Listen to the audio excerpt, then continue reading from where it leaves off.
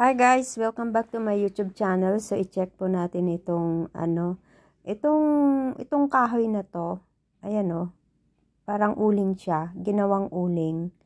Kahoy na patungan po ng halaman.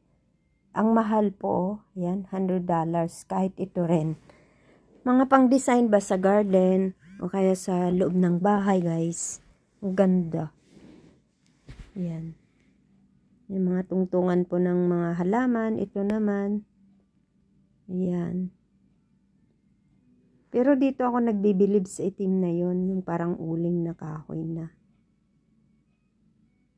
So, ayan.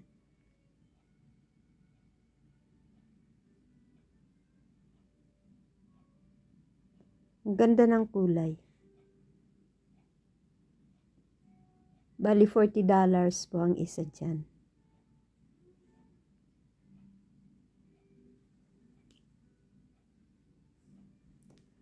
Tapos ito naman po, tingnan natin yung ang cute po ng pangdilig ba ng halaman sa loob ng bahay. So ayan pang presyo $20. Ayan. Nakyutan lang ba ako? Malapit na naman po yung summer. So yan na naman po yung nilalabas nila ngayon na paninda dito sa loob po ng store. Ayan. So hanggang dito na lamang. Thanks for watching. Bye!